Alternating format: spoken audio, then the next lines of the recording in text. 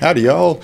I want to share something with you. It's around noontime. It's uh, February the 19th. It's 25 degrees out there, no wind. But I want to show you something that uh, happened to mm, this house. And I'm trying to stabilize the drone. I flew it out of that window. And right below the window is that little roof line. And underneath that, inside, is where the dining table is. I had a little problem with that. And so here I am sweeping off the snow and some ice from the top that dining room area. Why would I be doing that? Well, about mm, two nights ago, I was uh, working downstairs in my office, my downstairs office, and I heard this. It was like a grandfather clock. It was very loud and it was methodical tick, you know, tick, tick, tick, more like a drip, drip, drip. And so I, I turn around, get out of my seat, and I'm looking around. Where is that noise coming from? And I, of course, followed it into that area right there below where I'm sweeping. And folks, this is what happened. There you see that big circle there on the right. That was the first uh, leak. And that's what caused me to get a, a big old pot out to catch the water. And it wasn't that much water, fortunately. And then uh, over the course of uh, the next mm, two nights, those others appeared, but they didn't leak onto the table like that big circular one did. And that's where all the ice and snow fell that I was pushing off that roof line. So back to sweeping.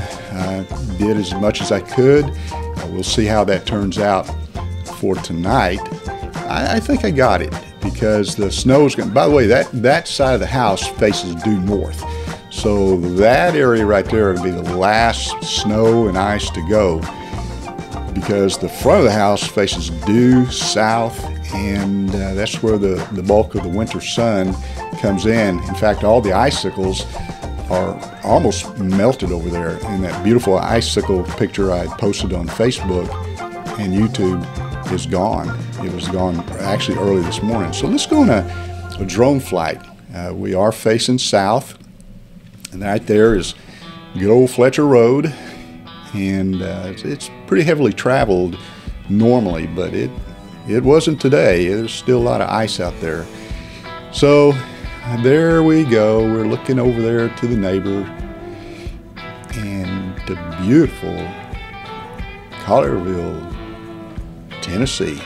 So let's let me swing this drone around give you a, a view to the east. And all this snow is going to be gone, and ice will probably be gone in the next couple days because we're supposed to get rain on Sunday. And then all next week is supposed to be off and on rain with uh, about this time next week, a lot of rain. So I don't think we're going to see any more snow, but who knows? April's still a ways away, and we have been known to get a little bit of snow even in late April here. So there you go. That's to the east. Now, as we look down, that's my backyard neighbor where you can see the kids played a lot in the snow. I didn't get out in the backyard here. I like it just pristine like that. So let's uh, swing around here to the west, a little bit more to the west before we fly it back into the house, the drone. Look at them icicles. Be interesting to see how long they're going to last. Not much longer. Anyway, so here I am. I'm coming in with the drone, which is a Mavic, uh, uh, which is a DJI Mavic Mini 2, and it doesn't have sensors anywhere but on the underneath of it. So it won't let me know if I'm about to crash into something. So it's all skill of the pilot and flying by the seat of my pants. So I'm trying to get that drone stabilized because that house creates an eddy of little currents that I can't see. Even though there's no wind out there, I had to fight this thing and struggle it to get it in there. Seems like it's uh, a lot more difficult on very cold days like this one is. It's uh, 28 degrees out there.